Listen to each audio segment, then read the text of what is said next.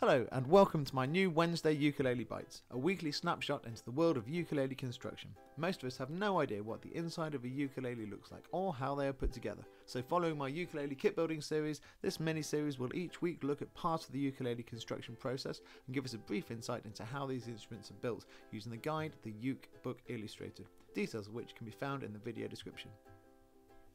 This week we are looking at the shaping and the joining of the soundboard.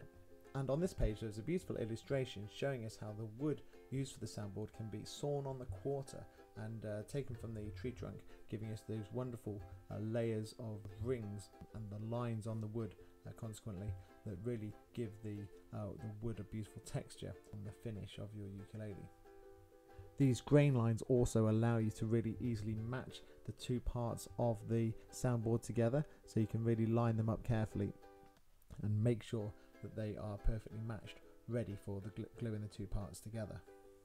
Once the two halves are stuck together, if the joint has come out well, you simply sand both surfaces smooth with a sanding block, working with the grain only of course. Once the surface is smooth, turn it over and work both sides really carefully and from this point on protect the top from damage. Even just settling it down on the bench with wood shavings on it can easily leave marks and, and ruin uh, top of your ukulele.